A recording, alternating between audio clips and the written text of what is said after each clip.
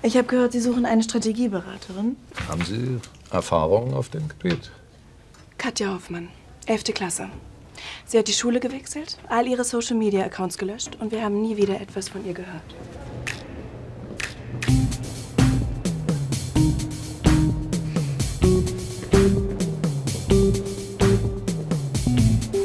Glauben Sie, dass wir das gegen ihn verwenden können?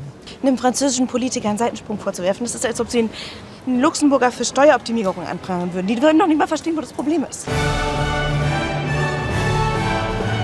Immer das Gleiche. Äh, Mal tiefer und tiefer.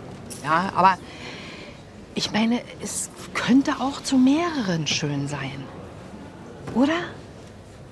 Ich glaube, mir ist nicht so gut. Was?